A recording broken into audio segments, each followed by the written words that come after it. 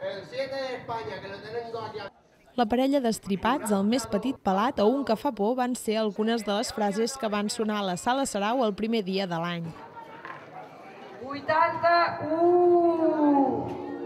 I és que el Club Bàsquet Cardedeu va organitzar el Quinto de Nadal, una activitat que ja és tradició al poble i que aquest any ha tingut més participants que mai. És ben bona aquesta ratlla.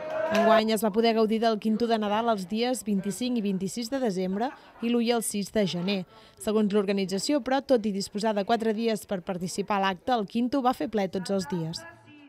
Potser el voler començar l'any amb bon peu o la crisi van fer que en aquesta ocasió fossin molts els cardeuencs que es decidissin a provar sort i a mirar d'endur-se un pessic dels diners recaptats de la participació.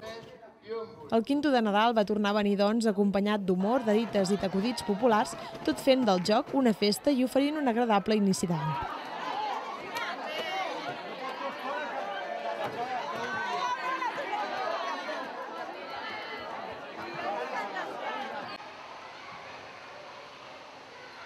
Tot i estar en plenes festes nadalenques, hi ha molta gent que treballa i han aprofitat el parc de Nadal per deixar els seus fills en un espai lúdic i divertit. S'hi podia trobar una gran varietat d'activitats, des de la més típica, com és pintar-se la cara, passant per tallers de manualitats nadalencs, els jocs de taula més coneguts, inflables i activitats esportives com són el tennis taula, el bàsquet o el futbol. Hi havia una àmplia diversitat d'edats i la dinamització va ser a càrrec dels alumnes del cicle formatiu d'esports del taller Ginebró. Aquesta va ser una bona ocasió perquè els nens i nenes coneguessin i es relacionessin amb alumnes d'altres escoles de Cardedeu.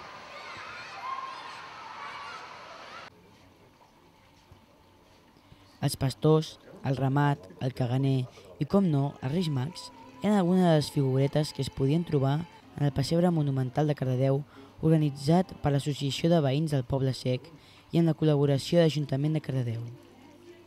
En el pessebre destaquen construccions com l'ermita Sant Hilari, on estaven refugiats el nen Jesús i els seus pares. També, a dalt d'un turó, es pot diferenciar una casa que treu fum per la xamanella. I, per últim, es podia veure un riu amb aigua de veritat.